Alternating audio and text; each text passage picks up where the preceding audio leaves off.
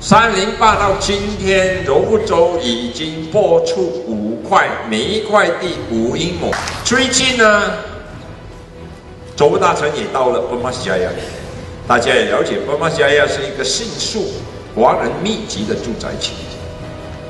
当地的马华的领袖也有告诉我们说，那边需要一间华小，所以周大臣说，你要找有恰当的发展商。所以我跟他讲有一个很大型的发展商，我也要求说你打电话给他了，你跟他讲说我们要的比较容易，对吧？我们讲不容易，因为发展商是听总部大臣更改土地用途，他可以讲 yes and no。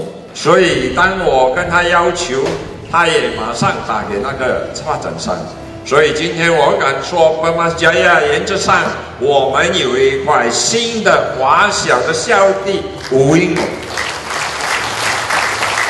我们也有指示嘉祥说去物色找哪一间华小，是不是培华二小，对吗？或者其他的。所以我们会继续的努力，等到申请书全部批准了，我们才来公布。我们不要好像。明年的一些领袖，自己宣布、自己听、自己讲、自己鼓掌，不对，结果没有落实。